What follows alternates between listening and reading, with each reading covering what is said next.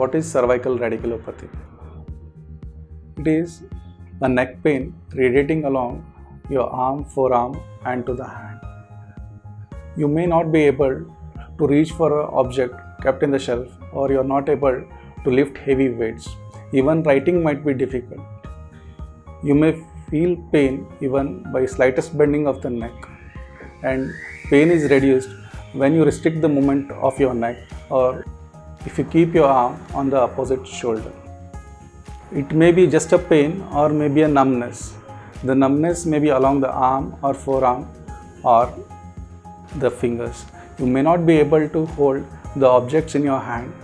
Handwriting might worsen. Or you may have sometimes difficulty in passing urine as well as moving the bowel. Our neck is composed of cervical spine.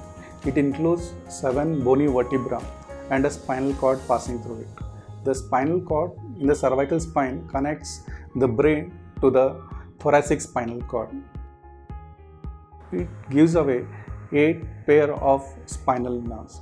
The vertebral bodies in the cervical spine are connected to each other in the front by the intervertebral disc and behind by the facet joints and the ligaments. So when the roots pass behind the disc, they might get compressed by the herniated disc or a bony osteophyte. They may be sometimes compressed by the enlarged osteophytes from the facet joints. Every nerve exiting out of the foramen has a particular territory.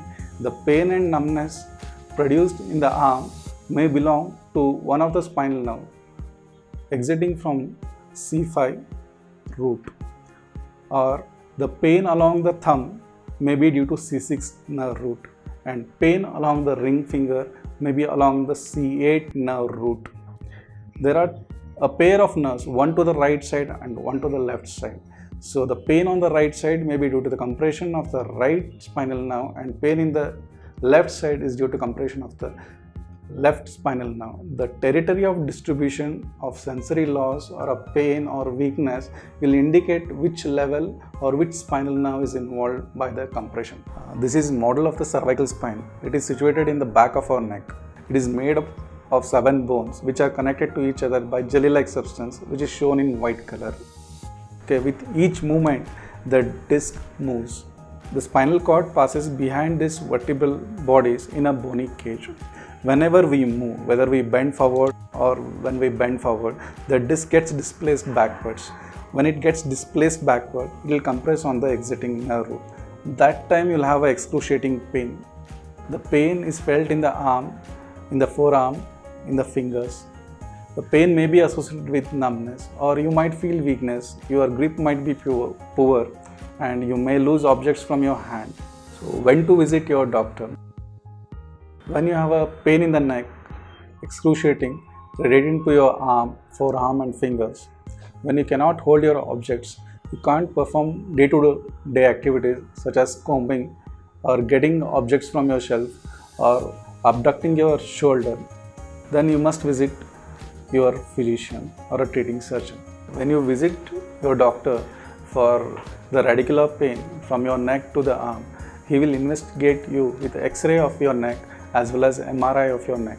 X-ray will give an idea about the movement of the bone in your neck and MRI will give an idea which nerve is compressed, how severely it is compressed and what modality of treatment has to be given. Once MRI has been done, we'll discuss what kind of treatment you need. Does surgery indicated in all patients with cervical radiculopathy? Not in all patients. Based on the MRI findings and the clinical finding, we'll describe what treatment should be given to you.